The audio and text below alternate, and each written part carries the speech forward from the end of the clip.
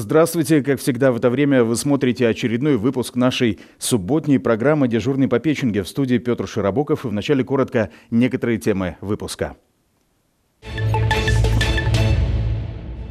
Очень рады, что открылся центр. Мы уже направили свои материалы в него и плотно сотрудничаем. Очень интересно, как по моему мнению, направление, вот, которое стоит развивать. Самый северный в Никеле открылся офис туристско-информационного центра. Хоть они сегодня были соперниками, так, в общем-то, мы одна команда, сборная Кольская ГМК. Вот. Ну, весело провели время. Команда Мончегорская на льду Мурманской арены «Метеор» сразилась со сборной Никеля из Заполярного. Вождение, да, побольше. Не только вот змейка и разворот в ограниченном. Что-то еще придумать. Может быть, какие-то квесты даже. В Никеле состязались автоледи. Конкурс провели по инициативе созданного в поселке женского клуба, а организовать праздник помогли Центр «Вторая школа» и муниципалитет. Ну и вот теперь все подробности. За четыре года Мурманскую область посетили больше 1 миллиона 800 тысяч человек. 2022 оказался рекордным – 540 тысяч гостей. Всего же за это время федеральное и региональное правительство поддержали 115 проектов в этой сфере на 350 миллионов рублей. Сейчас в области открывается летний туристический сезон. Впереди несколько крупных фестивалей в Териберке, Мончегорске и Никеле. Для развития отрасли к нам регулярно приглашают туроператоров из других регионов или стран. Совместно с РЖД заключили соглашение и ведем работу по продвижению туризма прямо внутри поезда. Аудиогид и путешествие по э, Мурманской области будет сопровождаться экскурсией по тем местам, в которых ты, может быть, сейчас проезжаешь, но обязательно вернешься и можешь в следующий раз запланировать остановку э, на наших территориях. В Никеле открылся офис туристско-информационного центра. Он получил название «Северный». Там можно узнать, где же в Заполярье искать впечатления, какие удивительные места и необыкновенные экскурсии есть в Печенском округе. Заповедник Пасвик, индустриальный маршрут Шпиль, водопады – вот лишь малая часть того, что может заинтересовать путешественников в Печенском округе. Теперь всю информацию можно получить во фронт-офисе Северной туристско-информационного центра в Никеле, открытие которого ждали и жители, и те, кто занят в туристической отрасли. Очень рады, что открылся центр. Мы уже направили свои материалы в него и плотно сотрудничаем. Очень интересно, как по моему мнению, направление, вот, которое стоит развивать. Очень красивая природа природа здесь. И вот хочется найти какую-то вот изюминку еще, еще какую-нибудь изюминку, чтобы э, возить сюда как мурманчан, так и жителей э, гостей нашей области. Разместился центр на первом этаже дома номер 4 по улице Сидоровича. Его открытие почетные гости назвали важным шагом в развитии турнаправления в Печенском округе. Это результат взаимодействия многих заинтересованных сторон. Это действительно важный шаг, потому что когда человек приезжает э, в любой город, э, ему важно получить где-то в одном месте всю информацию о том, что здесь есть. Потому что очень сложно бывает ориентироваться, да, там есть заповедник, здесь есть э, индустриальный маршрут, шпиль, Здесь есть в поселке водопады, еще, еще, еще, ну много всего, что можно посетить. Спасибо компании «Норильский никель» за выделенные финансовые средства на открытие этого центра. Э, по официальным данным у нас в два раза увеличилось количество туристов в 2022 году по сравнению с 2021. И открытие этого центра, конечно, оно будет способствовать увеличению турпотока к нам в округ. Наверное, Никель можно назвать особенным местом, потому что туризм – это новая точка роста для муниципалитета. И здесь важно отметить, что есть сильные и надежные партнеры и в лице Норникель, и в лице второй школы, и в лице администрации муниципалитета, что позволяет нам, вот как бы, ну, позволило нам все это собрать воедино. Бизнес, который с удовольствием уже готов делиться продуктом, а не просто какими-то идеями на тему, как развивать туризм. Фронт-офис «Северный» не просто будет делиться информацией. Здесь планируют проводить просветительскую и профориентационную работу в сфере туризма. Подобные офисы уже открыты в Мурманске, Териберке, Умбе, Апатитах и Кировске. Петр Широбоков, Руслан Мавлютов, Александр Полистовский. ТВ-21+, Никель.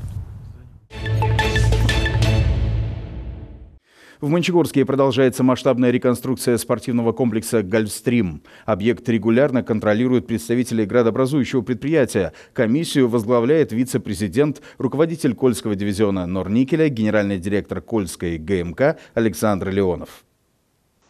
Напомним, в зоне большого бассейна стены были демонтированы из-за аварийного состояния. Теперь с помощью специально разработанных технических решений возводятся новые. Мы демонтировали все стены, э, перекрытия и в настоящее время уже заканчиваем монтаж металлоконструкций быстро возводим их под монтаж сэндвич-панелей. По срокам у нас все идет согласно графика производства работ.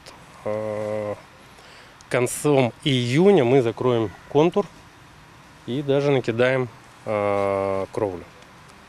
Кровля у нас будет мягкая, поэтому все это произойдет очень быстро. На объекте работает более 30 человек, которые трудятся без выходных. На завершающей стадии монтаж инженерных систем. В разгаре общестроительные и отделочные работы внутренних помещений. Рабочие обрабатывают стены и потолки антигрибковым составом и готовят к покраске. В малой чаше бассейна ведутся пусконаладочные работы, проверяют на работоспособность системы водоподготовки. Работы по обновлению Гольстрима на контроле у вице-президента, руководителя Кольского дивизиона Норникеля, генерального директора Кольска ГМК Александра Леонова. Миронова. Хорошо, молодцы. Молодцы, что в графике, молодцы, что супротиве. Сделано много, а предстоит еще больше. Открытие обновленного современного многофункционального комплекса «Гольстрим» с тренажерным залом, спортбаром, соляной комнатой, сауной бассейном запланировано на конец ноября этого года. Юлия Барабан, Александр Николаев, ТВ-21+, Мончегорск. Печенском округе прошел День предпринимателя. Представители бизнеса встретились с работниками администрации и корпорации развития Мурманской области. Площадкой для диалога стал центр «Вторая школа».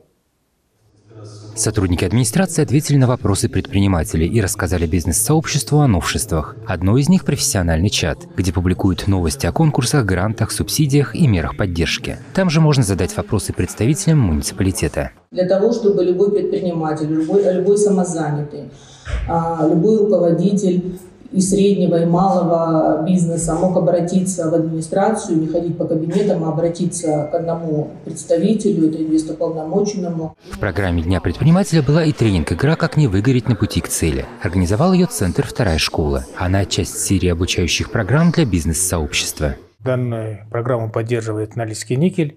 И это такое уникальное явление, когда большой бизнес поддерживает развитие малого бизнеса на территории. Пришло достаточно людей, которым игра, э, деловая игра интересна. Это эмоциональный тренажер.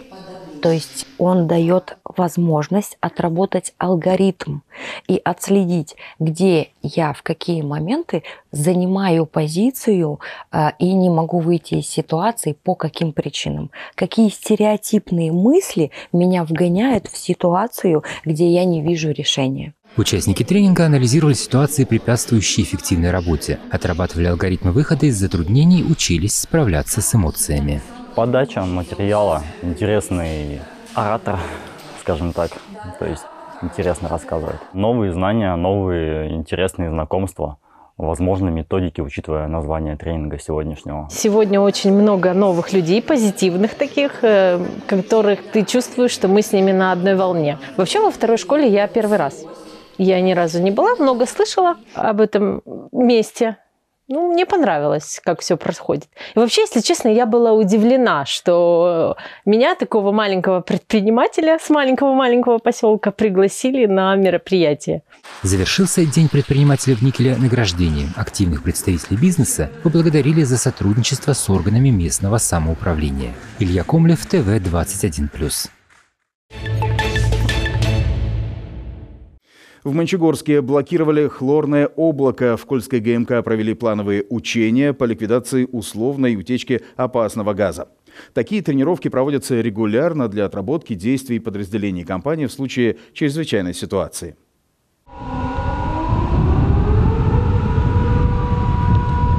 По легенде сегодняшних учениях у нас произошла разгерметизация цистерны с хлором железнодорожной э, в районе ЦМТО. В ходе учений было задействовано э, три единицы техники. Это ГАЗ-330811, это аварийно-спасательный автомобиль, и две автоцистерны, которые были установлены на рубежи для орошения хлорного облака. Была произведена разведка э, в целях поиска пострадавшего, который был удачно обнаружен и условно передано работникам э, скорой помощи.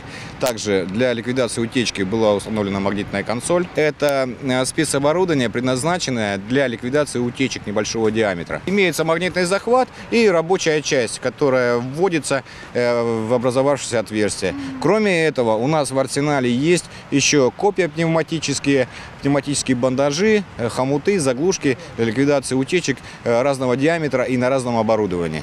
То есть магнитная консоль в данном случае у нас наиболее эффективна. Учения максимально приближены к реальным условиям. Все подразделения компании производят учебную эвакуацию с рабочих мест. За действиями следят сотрудники Департамента промышленной безопасности. Обязательно у каждого работника должны быть э, противогазы, они должны уметь пользоваться ими и, соответственно, знать, в какой точке сбора должны находиться. Выборочный опрос показал, что работники владеют вопросом, слышат слышали вводные, э, знают, как применять средства индивидуальной защиты, сработали четко, отлажено.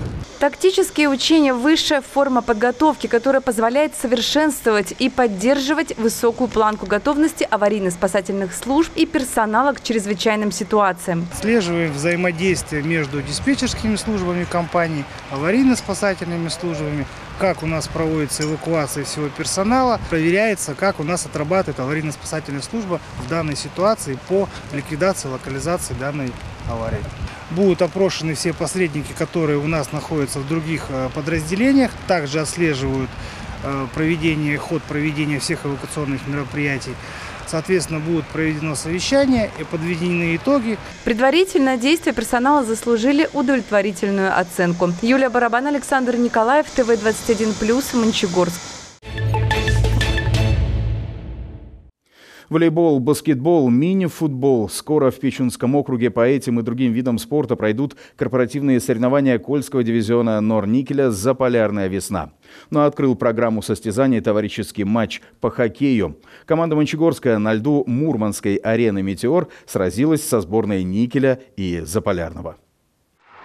Этот товарищеский матч ставит точку в зимнем сезоне. Больше игр у команд не будет, но это не означает, что хоккеисты Кольской ГМК до осени забудут про клюшки и коньки. Дальше у них э, продолжать будут тренировки здесь, на ледовой арене, подготовка к корпоративным соревнованиям Норникеля по хоккею, потому что уровень команд растет. И так как у нас э, сборная Кольской ГМК, Кольского дивизиона представлена двух площадок, вот именно Мурманск, площадка ледовой арены «Метеор» позволяет равноудаленно ребятам здесь тренироваться и оттачивать свое мастерство.